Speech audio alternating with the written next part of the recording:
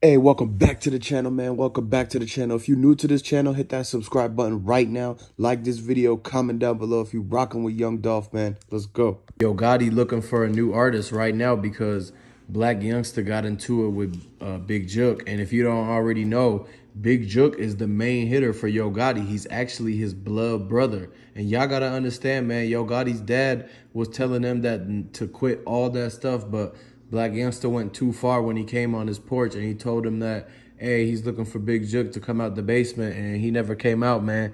And then next thing you know, he go on and say all this stuff about Big Jook and that's when Yo Gotti call his phone and tell him he needs to stop with that or else it's over for him in CMG, man.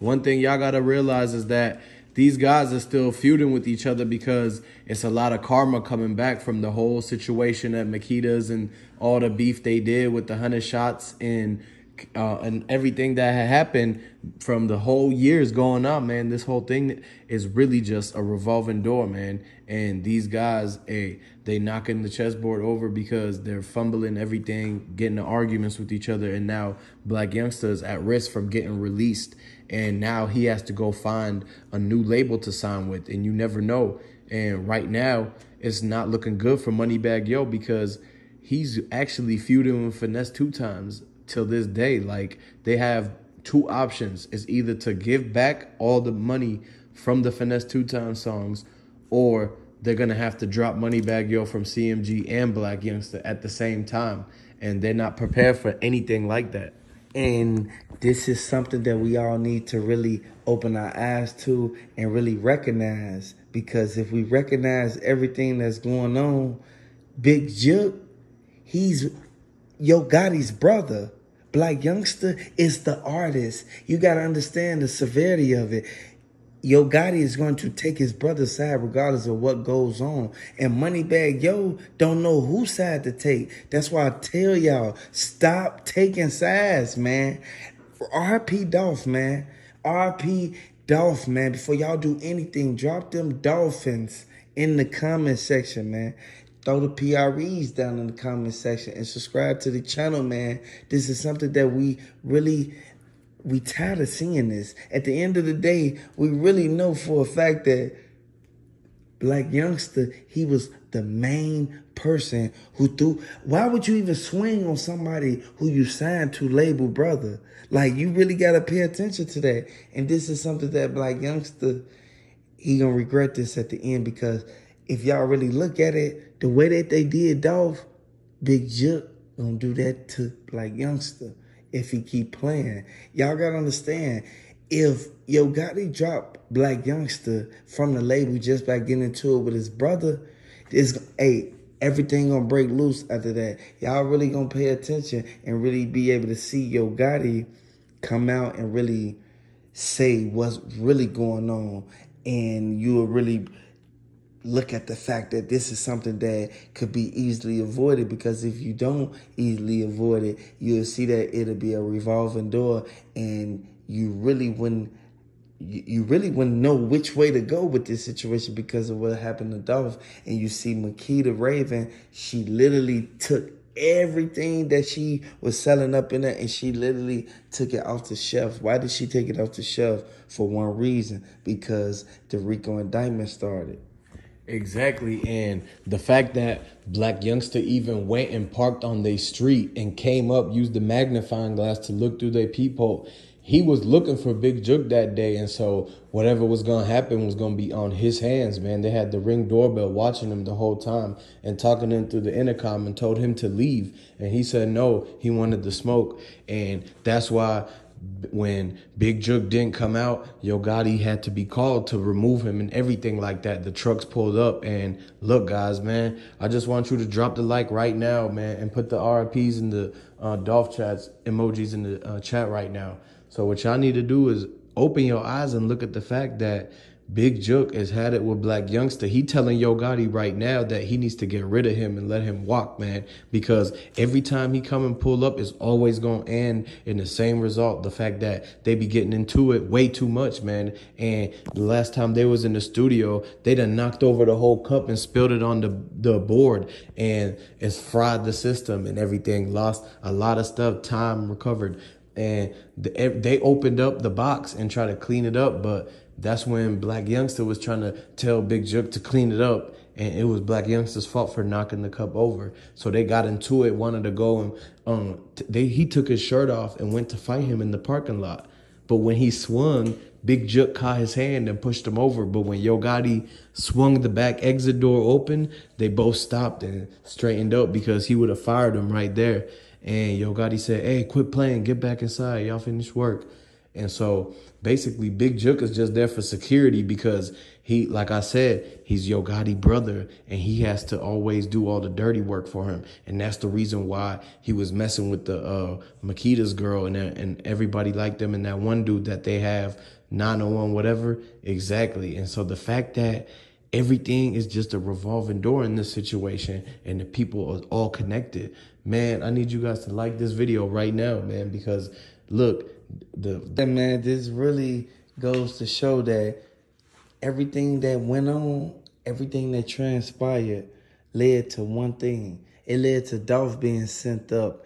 This is something that we all know that could have been easily avoided if the people weren't around them so so greedy. And then if you really pay attention to it, this is something that we all know.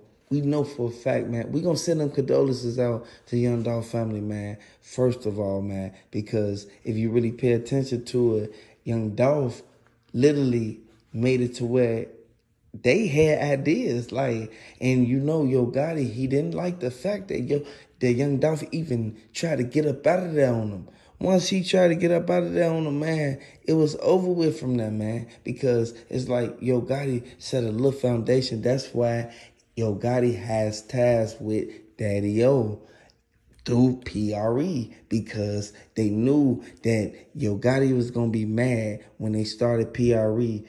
All Dolph did, and this is coming from the sources in Memphis, he got close to Gotti. He got all the information about the look, how to start the, you feel me, the record label company PRE. And then next thing you know, he started with Daddy Yo instead of Yo Gotti. Then Moneybagg Yo came into play. Then Blac Youngsta came into play. Hey, y'all already know what went on after that. Y'all know what transpired. And this is something that we all need to really look at and take heed to because y'all know the answer to that. Exactly. And everything is crazy because when you look into how deep it goes and the reason why Yo Gotti was told to send the hit and everything, and Big Jook had no choice but to put the pieces together. And that's why when you look at the fact that Blac Youngsta was walking and he got seen by three people and they still got to go talk to everybody that was at the scene one by one to make sure that they tell the same story again and the fact that the stories are changing and everything like that is looking more and more like they're gonna have just a little bit to get Blac Youngsta to actually come out and say whether he did anything or not and that's why he's ducking. And y'all gotta just look at how everything coming from this is making big jook and Blac Youngsta rub heads and bump bump heads because they not agreeing on it. And Yo Gotti's trying to tell him to work it out, but it's actually spilling over into Yo Gotti got to come and handle it. Now he's taking time and is making CMG almost like get to a point where they're crumbling. The assistants is looking at him crazy because every time they come with the cup of coffee, Yo Gotti and Big Jook are mad and they slap the coffee from the assistant hands. And she getting ready to quit because they not treating her because they angry and Blac Youngsta don't make it no better. And what y'all got to understand is that basically everybody, the cameraman, it, he even telling Blac Youngsta to like stand here and everything, and he yelling at him because he knows he only got like three or four videos left before the contract ends. And when he signed that contract, he forgot about the fact that he shouldn't have been beefing with Yo Gotti's brother when his contract was uh, coming to an end because who's he gonna sign with now? And Yo Gotti's gonna make sure to make everybody know that this is off limits because it was CMG that's going to keep getting the revenue from everything that he did from there.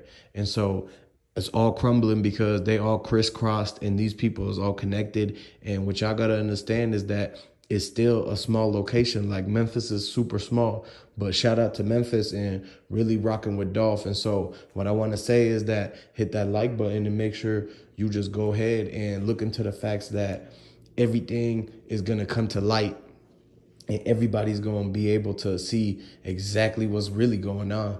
And y'all gotta just hey, stay hip to everything about how this all works together and put two and two together for you guys to eh, actually figure it out for yourselves and comment down below exactly what you think why everyone is still agitated like the karma is coming back on them and that's why they all acting this way so if you look at one thing this is something that we all need to take heed to because if we don't take heed to it, think like it, it'd be nothing that happened behind this. Like, y'all gotta understand, I'm not trying to make nobody think for nobody. I can't make a person think for themselves. Like, you gotta really understand the fact that everything that happened with Makedas and Young Dolph led back to Yo Gotti, Moneybagg Yo, Big Jook, Daddy Yo, Blac Youngsta. Y'all gotta pay attention to that, man. So hit the like button, hit the subscribe button if you're new to the channel. And make sure you like the video and come back for another one because it's to be big breaking news on the next video. I'm to catch you there.